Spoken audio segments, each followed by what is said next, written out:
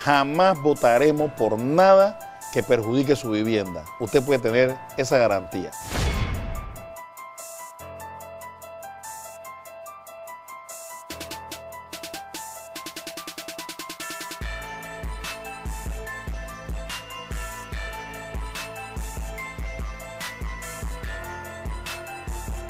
En días pasados, eh, en el municipio de, de Guararé, eh, pidieron cortesía de sala funcionarios de ANATI y funcionarios del MEF, eh, específicamente de patrimonio, de bienes patrimoniales, y estos le aclaran a, los ediles de- del municipio de Guararé que debían levantar obligatoriamente una- un censo catastral de las tierras que son propiedad de los municipios y que con estas tierras también se deben involucrar aquellas que no tienen título, pero que están en derechos posesorios y aquellas también que poseen derechos herenciales y que no han sido todavía adjudicados a sus herederos.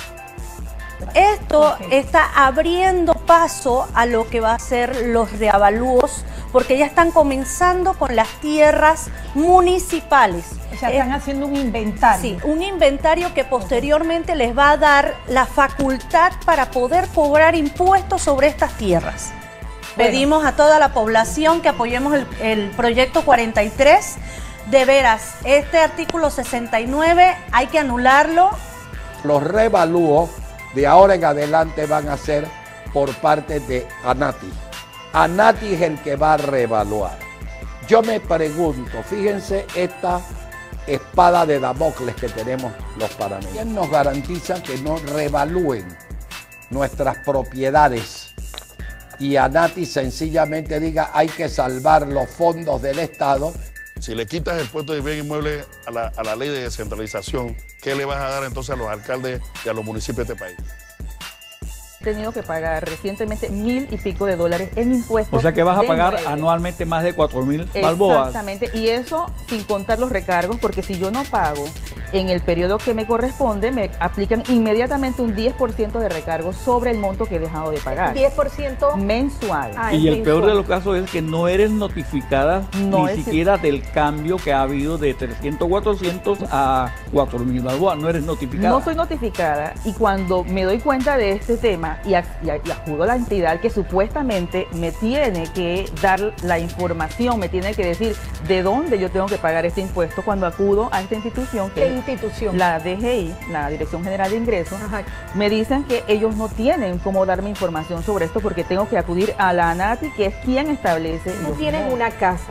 Esa casa tú pagas de impuesto de bien inmueble 300 dólares anual. Así es. De repente, sorpresivamente, cuando tú vas a, a ver en el registro público tu propiedad, te fue revalorizada. No, en el registro público no, No. en la DGI. En la DGI, tú fuiste a ver, como toda ciudadana que paga sus impuestos al día, te sorprendiste cuando te informaron la DGI que tienes que pagar casi más de 4 mil dólares anuales. Así es. Y que de acuerdo al código fiscal establece que si tú no pagas trimestralmente esa anualidad de 4 mil dólares, tienes un recargo mensual de 10% mensual.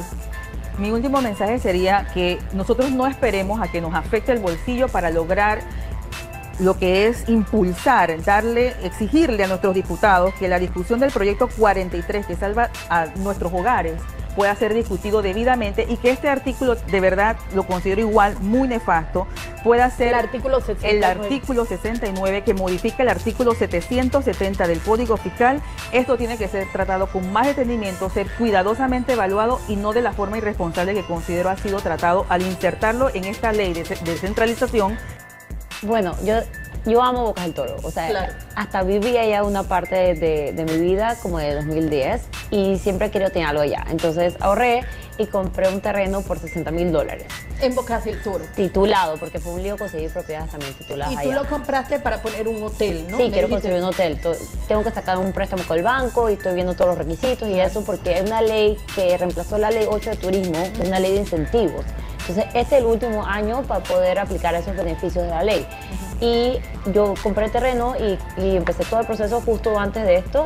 Y cuando mi abogado va a registrarlo en el registro público, le dicen que el terreno vale 150 mil dólares. Y yo como que, ¿qué? O sea, Úrsula compra un terreno en 60 mil dólares.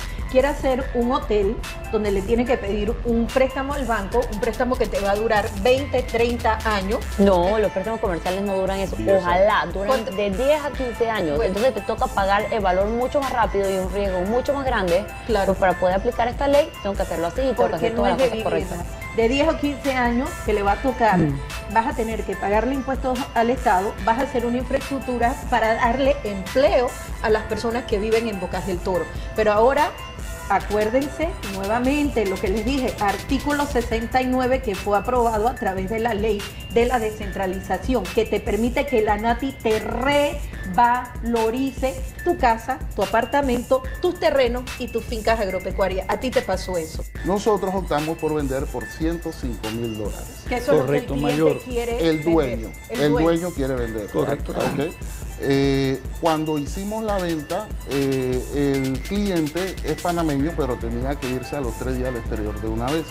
Hicimos la, escritura inmediatamente para ir a pagar el 2 y el 3 y sacar el pase y salvo del inmueble para introducirlo acá en registro público.